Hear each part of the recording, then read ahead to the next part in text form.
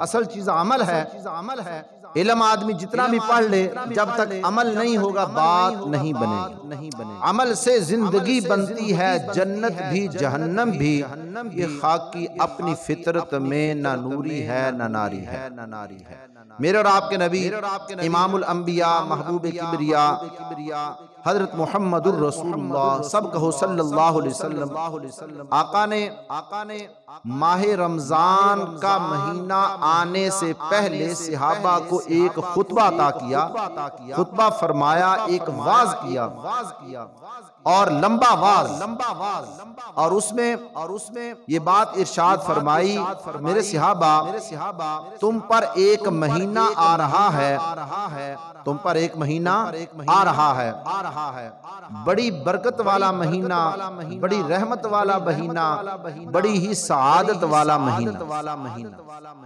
तो प्यारे पैगंबर वसल्लम ने माह रमज़ान आने से पहले सिहाबा को खबरदार किया कि उस महीने का एक एक मिनट एक एक सेकंड बड़ा ही कीमती है। कहीं ऐसा ना हो कि तुम उसको जाया कर बैठो।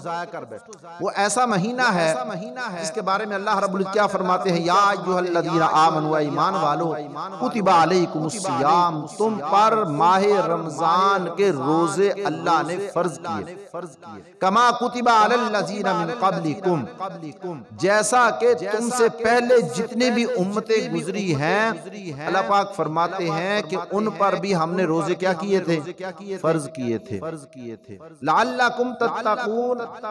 जब तुम रोज़े रखोगे माह रमज़ान के रोज़े तुम क्या हो जाओगे? परहेजगार बन जाओगे मुत्तकी बन जाओगे। अल्लाह तुम्हारे गुनाहों को क्या कर देंगे? फरमा माफ़ फरमा तो इस आयत में इस आयत में अल्लाह रब्बुल ने बात इरशाद फरमाई कि रोजा रखना इतना मुश्किल काम नहीं है जो जो तुमको दिया गया है।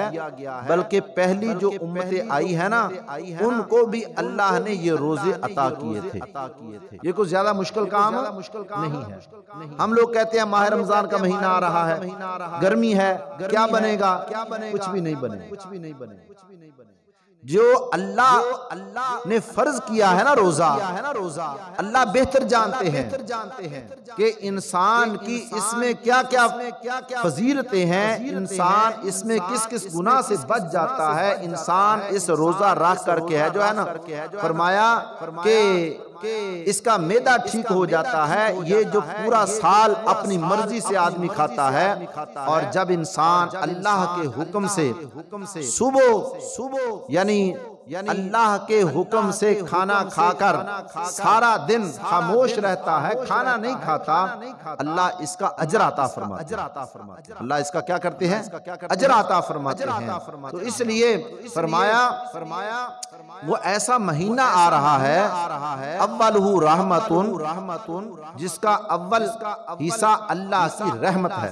रहमत है औसत मगफिरतुन मगफिरतुन और दरमानी दरमानी अशरा जो है उसका जो है वो अल्लाह की तरफ़ से मगफिरत है। आखिर नार।